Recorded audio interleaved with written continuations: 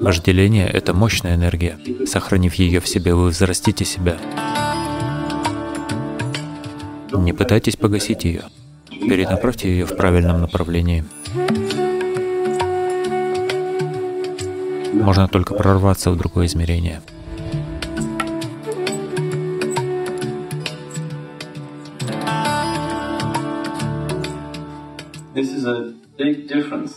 В понимании жизни между Востоком и Западом есть существенная разница. На Западе всегда говорили о том, что нужно давать выход энергии. Все должно выйти. Что вам нужно разрешить психологические ситуации с помощью кого-то или чего-то. Но путь Востока — это всегда не давать энергии выхода. Будь то ненависть, гнев или вожделение, что угодно. Сохраните это в себе, возрастите себя. Если не допускать высвобождения энергии, то ее уровень резко возрастет. Это йога.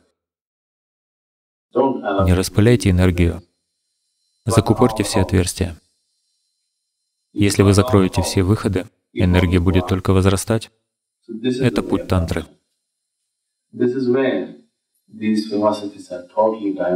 Вот где эта философия диаметрально противоположна другим подходам.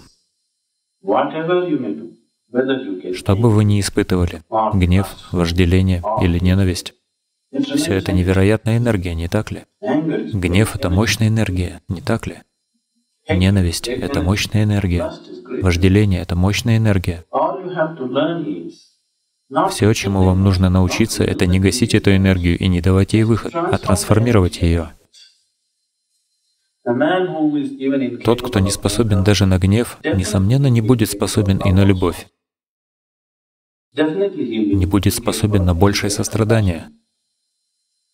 Если энергия вспыхивает в виде гнева, ненависти или вожделения, не пытайтесь погасить ее. Все, что вам нужно сделать, трансформировать ее и направить в нужное русло. Потому что вы — это энергия, не так ли? То, что вы называете жизнью, — это энергия. Все, что вы называете божественным, — это тоже энергия. Все, что вы должны сделать, — это найти для нее нужное русло.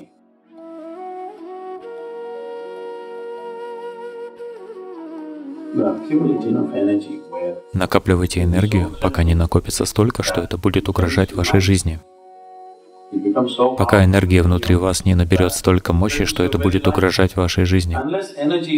Без подобной мощи энергия никуда вас не приведет. Она не уведет вас далеко.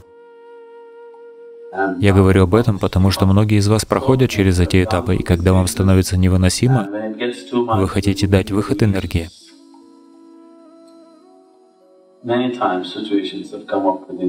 Много раз внутри вас возникали ситуации, когда терпеть было больше нельзя, и вы пытались уйти от этого. Почитать книгу, включить телевизор или как-то отвлечься. Вы ищете повод, чтобы прекратить практику на несколько дней. Вы поступаете так, чтобы высвободить энергию. Вы ищете высвобождение для самих себя, и вам становится легче. Но если вы продолжаете выпускать ее таким образом, вы никогда не накопите необходимую энергию, чтобы прорваться в другое измерение. Нельзя перейти в другое измерение. Можно только прорваться в другое измерение. Если вы хотите прорваться, первое, что вы должны сделать, это довести себя до предела. Когда вас переполнит достаточно, мы прорвем вас.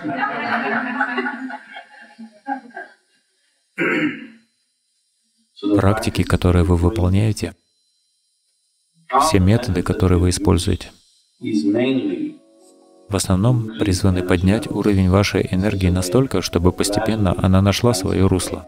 Если вы позволите ей идти естественным путем, может пройти много времени, поскольку неизвестно, где энергия найдет высвобождение. Вы никогда не узнаете, устремится ли она куда-нибудь или нет.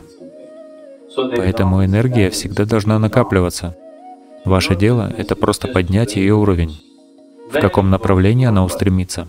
Об этом вам не стоит беспокоиться. Когда в вашей жизни есть гуру, он позаботится о том, чтобы энергия нашла нужное русло. Но накопить энергию — это ваша забота. Пока вы не накопите достаточно энергии, все будет бесполезно.